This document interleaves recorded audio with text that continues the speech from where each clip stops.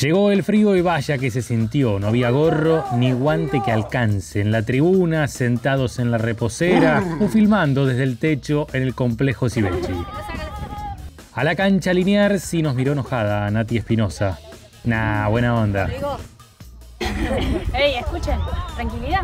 Tranquilidad pedía la capitana Antonella Sangüesa. La que se quería meter a dar la charla es Mariana González de Estrella, que está expulsada y se colgó del alambrado. La que es capitana es capitana. San Sinena y la foto.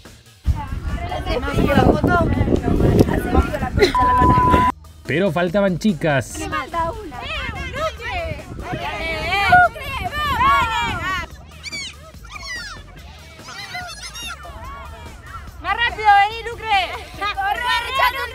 Ah, Lucrecia Semper, la goleadora serrense que a pesar de las bromas era porque tenía la bota puesta. Y More Bowen que estaba pleno.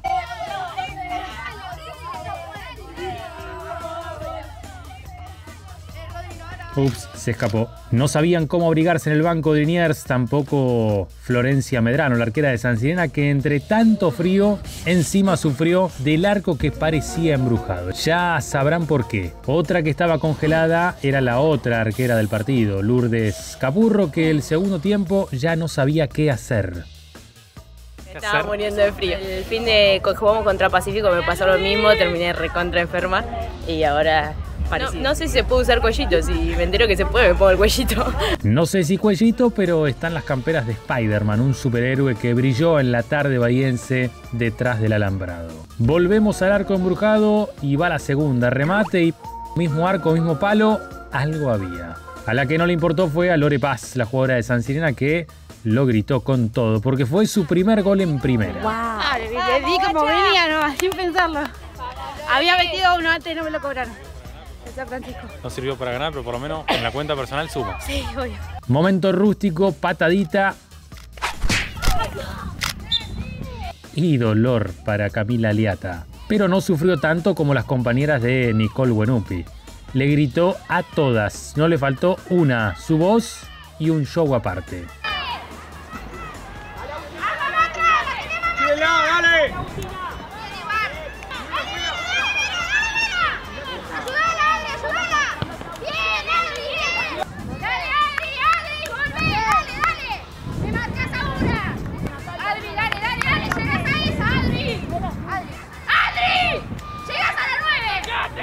Yo sé que te tiene cansada con los gritos, pero tranqui, se está quedando sin voz. ¿Sabes qué pasa? No me escuchan. Mis cuerdas vocales ya están al límite. Ni el pobre José Mogia zafaba de la defensora. Intenso estaba el charquito de barro en la cancha 1 del Cibechi. Lo mostramos primero y luego lo vemos en acción. Sí, Abigail Velázquez cayó justito y se fue con regalito.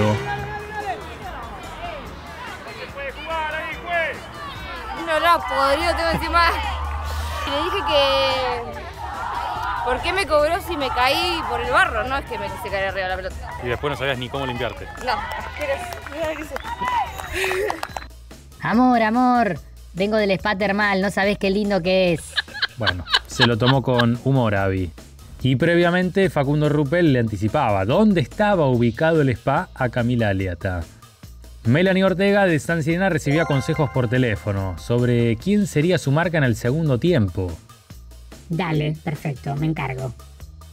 Y fue directo, Paola Megarejo su víctima, uno y dos. Y se desquitó.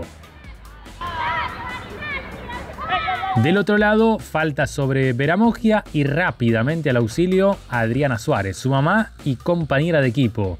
Y sí, más rápido que la asistencia médica. Después otra vez, Adriana atenta a todo. Al final era puro consuelo, sí, amor de madre e hija. Y me sale la, la mamá de adentro. no, no, sé.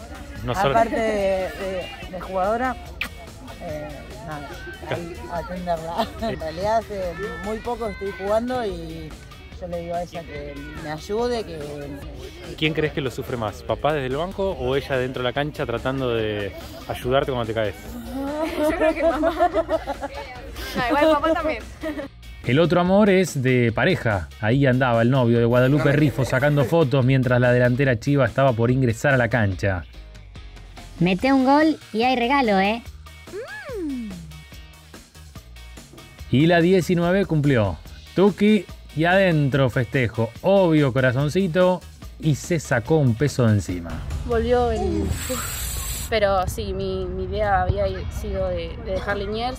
Después cuando pude arreglar todo, volví a jugar. Y bueno, acá estoy. ¿Te motivaste de vuelta? sí.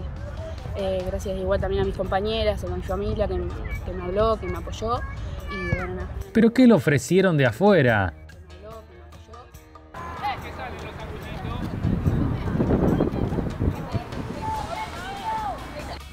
Nosotros bajamos porque nos empezamos a ir del Cibechi, escalera mediante, y agradeciendo el gesto a los padres del Chivo. Y nos vamos con festejo por dos. Grandes triunfos del fin de semana. El de Huracán a tiro federal. Y ardía el vestuario del Globo. Y a puro festejo también en Libertad, épico, ante municipales, de visitante. Locura absoluta del Mil Rayita.